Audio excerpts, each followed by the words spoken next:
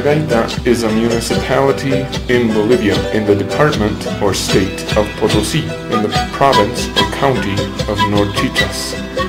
It is located in a mountainous area. The mountainous topography makes it difficult to get around by road.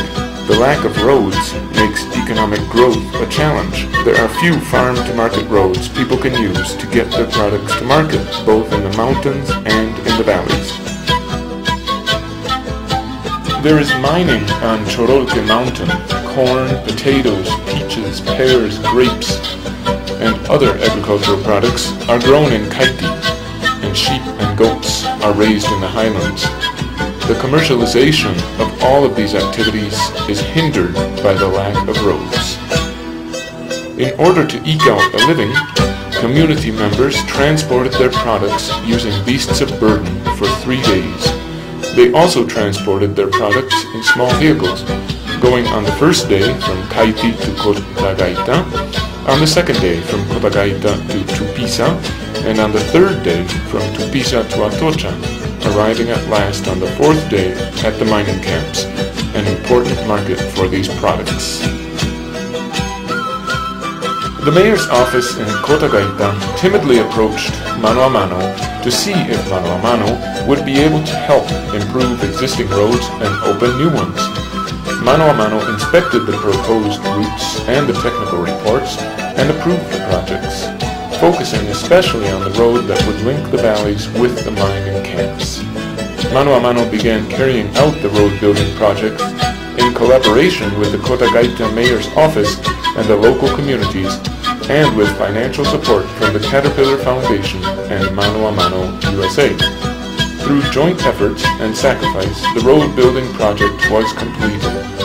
The new roads link the productive valleys with highland population centers, reducing the travel time to less than one hour. The road begins at an altitude of 8,500 feet above sea level, reaching an altitude of 16,500 feet where the mines are located, with a length of 30 kilometers. Community members and local authorities were very happy with the work that was done. On the day of the inauguration of the road, a huge group of people came together to celebrate with speeches, poetry, songs, and instrumental music. For more than 12 years, money was invested to complete the project, but completion was elusive. Now people who live in the area can see motorcycles going up and down the new road and they can now go up and down the mountain with cargo trucks. Population centers are now in communication with each other via road. Porque estoy seguro de que el producto que sacamos de este lugar, que vamos a sacar de este lugar, vamos a sacar con menos costos y vamos a vender más rápido en los mercados donde más consumen fruta. De esa forma, seguramente el padre de familia va a estar ayudando a su hijo en la educación. Y esto me alegra mucho como profesor. Licenciado, ya habían gastado fortunas sin, sin poder concluir con este tramo. Fortunas, quiero decir, millones de bolivianos, sin poder atender otras necesidades que aún ellos tienen, sistema de agua potable, saneamiento básico, atención a la salud. Pero yo creo que con el camino se nos hace, se nos facilita atender muchas otras necesidades a estas comunidades.